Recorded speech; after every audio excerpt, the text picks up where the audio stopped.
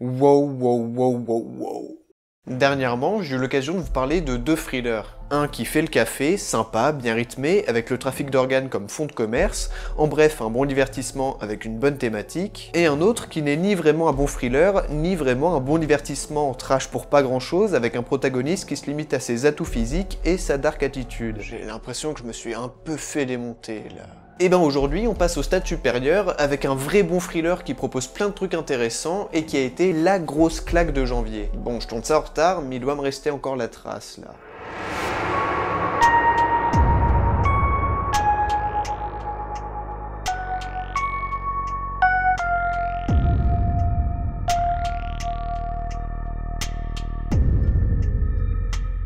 Nuisible est un manga de Masaya Okazono au scénario et Satomiyu au dessin, terminé au Japon en 3 tomes, et dont le premier est arrivé chez nous le 20 janvier dernier aux éditions Kana. Le deuxième tome est aussi sorti le 7 avril, et je l'ai pas lu, et le prix de lancement est à 5,95€, sinon ça coûte 7,45€, et dans tous les cas ça les vaut largement. Okazono a déjà bossé sur tout un tas d'œuvres qui sont déjà parues chez nous, dans pas mal de registres différents, mais quand même principalement l'épouvante horreur, tandis que pour Satomi, c'est sa toute première série publiée en France, et sa toute première série tout court, puisqu'avant ça elle était illustratrice, donc elle s'occupait juste de couverture et tout ça. Et pour une première série, le travail réalisé est juste fou, et ce, dès les premières pages.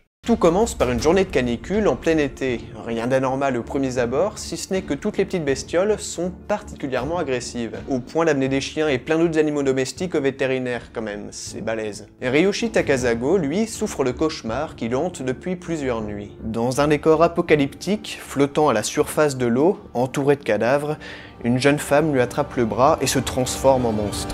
Bouh. Heureusement pour lui, ça reste que des délires provoqués par son inconscient. Enfin, sauf s'il s'avère que cette mystérieuse femme soit du jour au lendemain transférée à son lycée dans sa classe. Avec le synopsis, on comprend pas tout à fait bien où est-ce que ça veut en venir, mais en gros, sans spoiler, ça parle de trucs qui viennent parasiter ton corps et faire des trucs pas cool avec. Et moi, quand on parle de manga avec des parasites, il y a deux titres qui me viennent en tête. Parasite, forcément, et Manual. Il y en a un qui est très tourné sur le polar, avec des expériences scientifiques dans les égouts, des cobayes zombifiés et des gentils flics qui essayent de stopper l'épidémie. En gros, c'est un peu comme toutes les histoires d'invasion de zombies, mais à plus petite échelle et en encore plus dégueulasse. Tandis que Parasite, c'est déjà plus ambitieux, avec tout un message philosophique sur la domination de l'espèce, la place de l'homme dans l'univers, sans non plus échapper à des bonnes scènes de combat très bien rythmées. Attention, je sens un ennemi. Mais...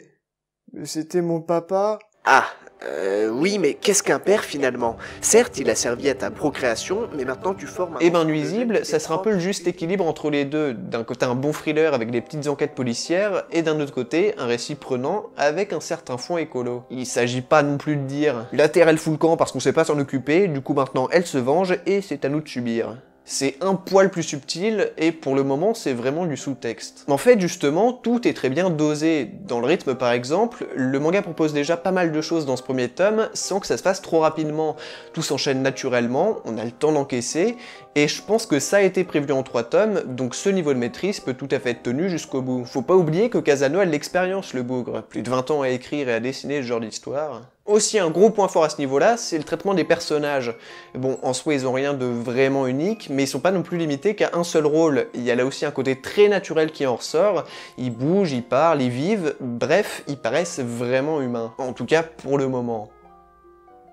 Et surtout, je l'ai évoqué tout à l'heure, vous en avez vu quelques aperçus, mais je peux pas me limiter à ça. Il faut que je vous parle du travail de Satomi. Bon, déjà c'est beau, c'est magnifique, c'est tout ce que vous voulez, mais surtout c'est novateur, ça apporte une vraie fraîcheur et ça se démarque vraiment des autres mangas de Parasite, enfin des autres mangas tout court. On ressent son passif d'illustratrice, même dans le découpage qui propose sur certaines planches des mises en scène vachement bien fichues, et au final, le rendu est très poétique. Pourtant, il y a des passages dégueux, mais Satomi arrive à gérer l'aspect dérangeant des scènes en y ajoutant un trait assez trituré, sombre, assuré, et surtout très expressif. Si les personnages paraissent vivants grâce à l'écriture d'Okazono, c'est Satomi qui les fait vraiment prendre vie. Le cas de Kikuko, la jeune fille monstre bizarre, est sans doute le plus représentatif. On sait jamais trop ce qu'elle pense, ce qu'elle ressent, et même si c'est une menace, on voit bien qu'il y a quelque chose de bien plus profond en elle. Je ne réagirai pas à cette phrase à double sens, car je suis torturé par tout un tourbillon d'émotions contradictoires. Ouais, je vois ce que tu veux dire. Bref, je vous recommande, et si je pouvais, je vous l'obligerais, mais je suis un minimum éduqué, donc je vous implore d'acheter, ou au moins de lire, ce premier tome de Nuisible. Je peux pas non plus trop m'avancer, parce qu'un seul tome, bah ça reste qu'un seul tome, mais en tout cas j'ai foi en ces deux auteurs, et je suis prêt à mettre ma main à couper que quoi qu'il en soit, Nuisible sera la hauteur, et proposera une vraie œuvre complète et intéressante. Ah. Si vous n'êtes pas complètement convaincu, bon bah honte à moi, mais au pire vous avez toujours le petit extrait en description. J'espère en tout cas que cette vidéo vous aura plu. Euh, si c'est le cas, n'hésitez pas à y laisser le petit pouce bleu du soutien, extrêmement important parce que ça fait joli en dessous de la vidéo. Sinon, vous pouvez la partager sur les réseaux sociaux et aussi faire part de votre propre premier retour en commentaire. Et il y a aussi le Tipeee, imperturbable, ici ou en description. Merci aux tipeurs et merci à vous d'avoir regardé la vidéo jusqu'au bout. Bonne lecture et à la prochaine. Ciao